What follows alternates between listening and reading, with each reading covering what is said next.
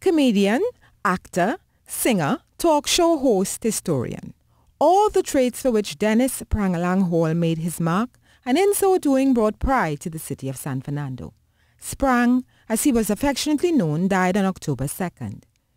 In marking its 32nd anniversary as a city, the San Fernando City Corporation is paying tribute to a number of its renowned citizens.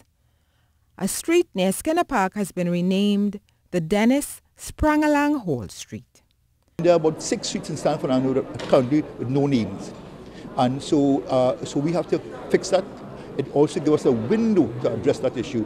And Sprang has done so much in Skinner Park and has connected Skinner Park and has been part of Skinner Park for all these years. One of the ideal thing to do to name that street Sprangalang, what Dennis will Dennis uh, Hall, aka Sprangalang Street.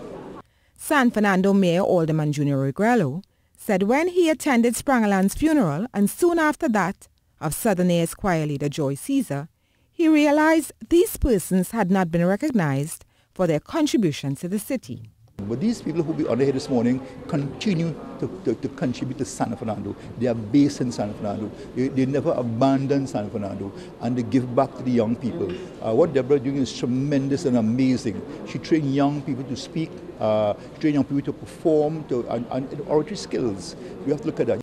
An added element to this year's City Week festivities is the City Council's commission of a book by noted historian Dr. Michael Anthony. Contract with Dr. Anthony's film to, to he's a bit he's a bit late in his life. He's going to put together a team of undergraduates to do the research uh, to publish the book because what he did from uh, 1595 to 1900 was, was, over almost 500 years. What he's doing now is just what 1900 to, to, to uh, 2020. The other awardees at Wednesday's celebrations included orator and author Deborah Jean Baptiste Samuel, cultural activist Torrance Mohammed, and philanthropist John Hoyt. Terry-Ann Brown Campbell, TTT News.